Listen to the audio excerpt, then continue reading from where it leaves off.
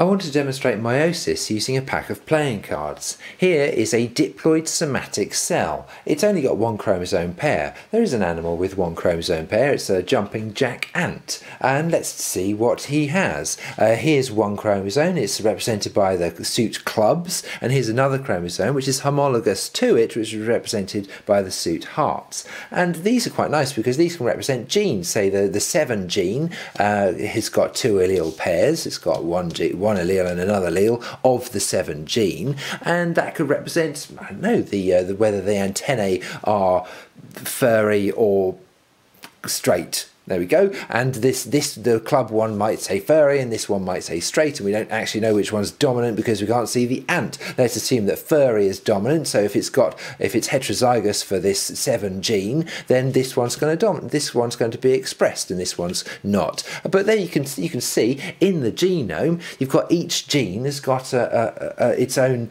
allele pair, and it's it's all laid out like that. Now you have 23 pairs, so you've got uh, 23 club suits and you've also got 23 heart suits you've got 46 chromosomes in total but just for this this demonstration we're just using one chromosome pair now um, during interphase, which is where the cell's just doing its thing, and it's also also in interphase, it's it's making another set of each chromosome. So we can use this the, these uh, cards to demonstrate that we've got another black chromosome and we've got another red chromosome as well. It's quite good. We've got four chromosomes now and we're ready to split. We're ready to split by meiosis to make some sex cells, to make some gametes. Prophase is when meiosis starts, and prophase is when all the chromosomes sort of crunch in and they sort of unravel and they, they look a bit denser and you can see them for the first time. And, and they, they join in the middle like this, they join in sort of an X shape. They join around about the 6 and the 7 and the 8 in playing card land, called the centromere. There we go, we've got sort of an X shape there.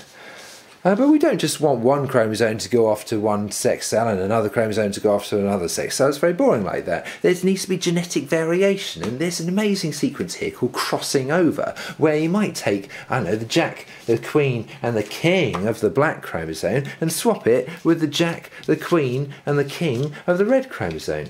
So you've got you you're mixing up alleles not only across chromosomes but also across these two mini bits of chromosomes as well. They're called chromatids. So in, when we move to our, uh, when we start to split these up, we go to metaphase, which is like metaphase in mitosis, except instead of lining up next to each other, the these chromosome pairs line up uh, in front of each other. If we say you've got one pole over there and one pole over there, so the, and these this one's going to go that way and this one's going to go that way. It's not always that way. You've got 23 pairs, remember. So whenever your your cells are undergoing meiosis, you might you're going to have um, a pair there and a pair there and 22 21 others over there, and they might not necessarily go to the pole nearest them. This is another way of mixing up genes. It's called independent assortment.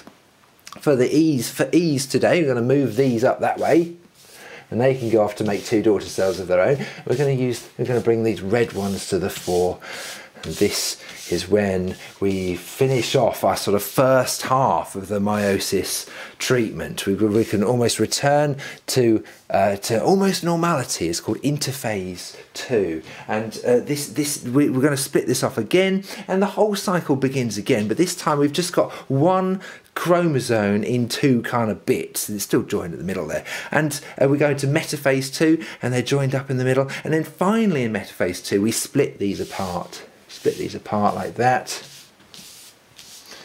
And this goes off to make two daughter cells, this goes off to make two daughter cells, and the black suits, which went off over there, they've made two daughter cells as well. We've got four daughter cells, and they're all haploid. They're all haploid, you see. And not only, let's, let's look at this one, this is the more interesting one at the bottom.